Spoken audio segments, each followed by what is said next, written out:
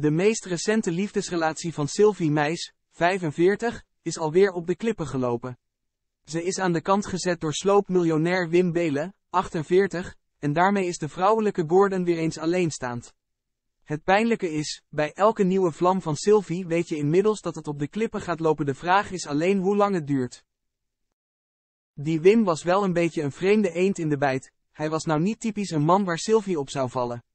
Ze heeft hem flink in de metamorfose gegooid, maar daarvoor leek het wel een soort mislukte imitatie van koning Willem-Alexander.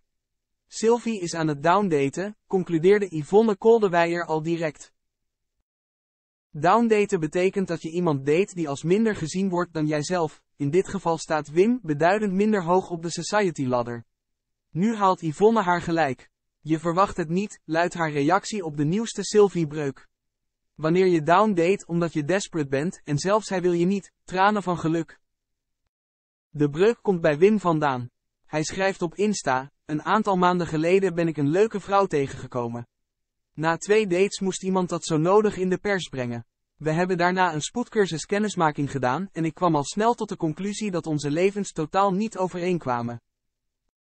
Hij vervolgt, Sylvie haar leven boven de radar en mijn leven eronder is een weg wat niet bij mij past. Ik heb dan ook besloten dat onze wegen niet verder gaan als paar en we ieder onze eigen weg gaan volgen. Veel succes in je leven. Je bent een, bijzondere, lieve vrouw. Bedankt. Welk advies geeft Yvonne nu aan Sylvie? Even zonder gekheid Sil, luister dan ook naar mij.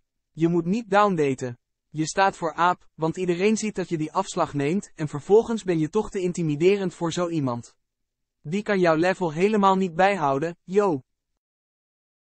Ze vervolgt, gewoon vissen in je eigen vijver, meid. Ook al is het een heel klein kutvijvertje. So be it. Anders maar single, want je krijgt anders echt een desperate imago. Stop ermee, met die onzin. Je hebt hem nooit leuk gevonden en je weet het. En hij weet het ook.